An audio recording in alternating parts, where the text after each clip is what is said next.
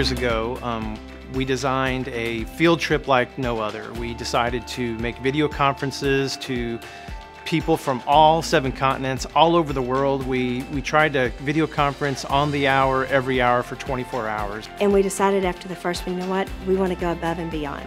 We've we covered all seven continents, let's go outside, let's go to space. Space, uh, how can we talk to space? And one of the things that I was unaware of is that you could apply to uh, do a downlink with the space station. We filled out an application, uh, Ms. Wiesner kind of took the lead, and all the departments filled in what we could, where we could incorporate space, and we applied, not really thinking anything of it.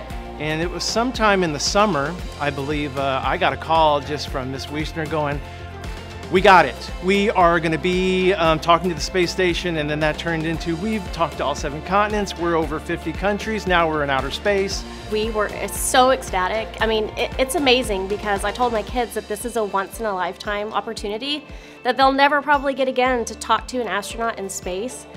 So immediately from the get go, it was what can we do? What fun things can we incorporate? Make sure that we do in the classroom um, we just really took it and ran with it. We were so happy. We had to come up with lessons connecting to math.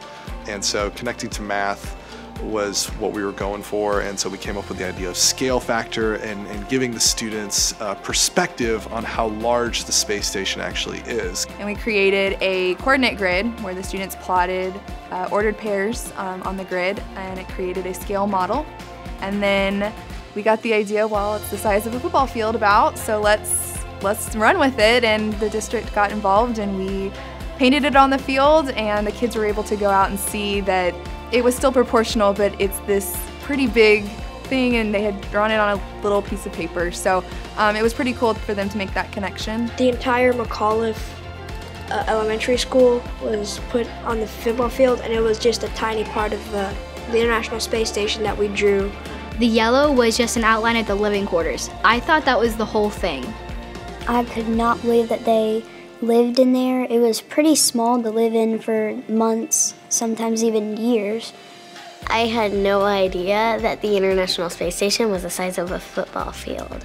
To actually see those shapes on the field with the solar arrays and the living quarters and the actual length uh, of the space station to give the students a much bigger idea of how large the station is. As the kids were getting excited, the teachers started to get excited also, and they were incorporating it into their art projects. And ELA teachers were incorporating the ISS into their writing assignments. Science was learning about, you know, what it's like to live in space and the what happens to your body and your muscles. So, you know, the excitement really has been rising, and we're so excited.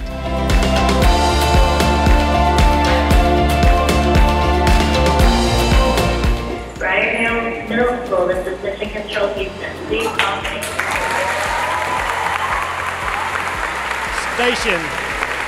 This is Briarhill Middle School. How do you hear me? Briarhill Middle School, this is station. Welcome aboard. I hear you loud and clear. How about me?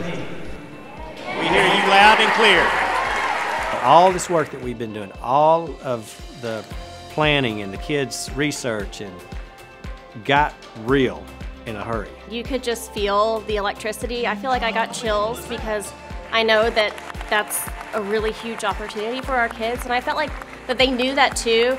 The screaming, the applause. I mean, I feel like they finally were able to own everything that we've been doing up to this point. For the majority of students, they were excited. They thought it was going to be very cool, but it it was beyond anything that that we could ever have predicted in terms of their reaction to it all I heard was, that was awesome. Did you see that? Did you see him do the flip? Did you see him talk about the yo-yo?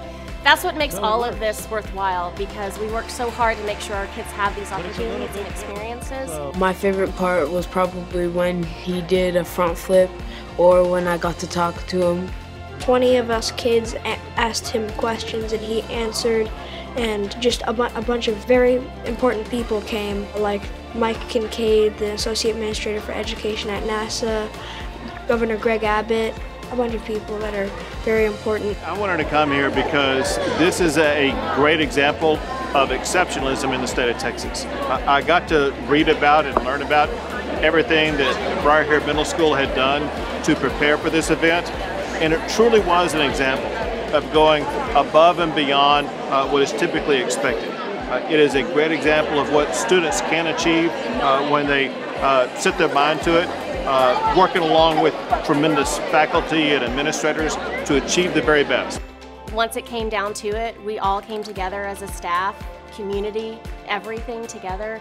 Some of our kids, um, they're athletes, some of our kids are artists, but this kind of brought all of that together and all these kids were able to have a hand in something in this event and know that they can accomplish what they set out to and they can be a part of something extraordinary with just even a little bit of hard work. It was just an amazing feeling to see somebody that was living in a world that I could never dream of. I think this is a great opportunity and I'm just really excited that we got to do it. I'm just gonna be able to remember this experience for the rest of my life and just how cool it was to experience all the awesome things that we got to learn from him.